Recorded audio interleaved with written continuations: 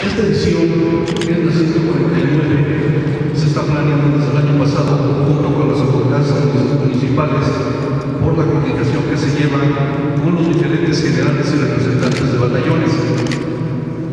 Tenemos la participación de más de 20.000 danzantes y lo que se ha cuidado son los tres diferentes aspectos sobre la representación de este carnaval.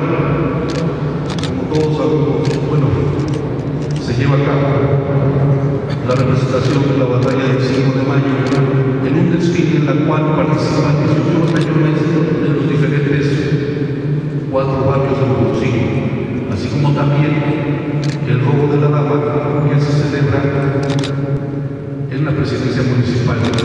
Posteriormente también tenemos el otro argumento que es, se celebra el primer casamiento indígena de la región. Ese se lleva en la plazuela Fray Juan Caramela.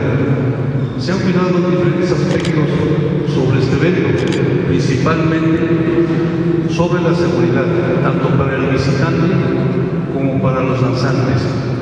En el carnaval tenemos diferentes actividades, las cuales inician a partir del 25 de febrero, el día sábado, el día domingo 26, 27 y 28.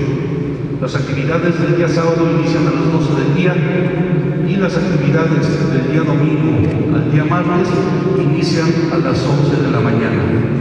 Invitamos a todo el público en general a que conozca esta tradición, la cual es única en su género. Llevamos tiempo en cuestión de la planeación para brindar un recibimiento a todas las personas que nos vienen a visitar.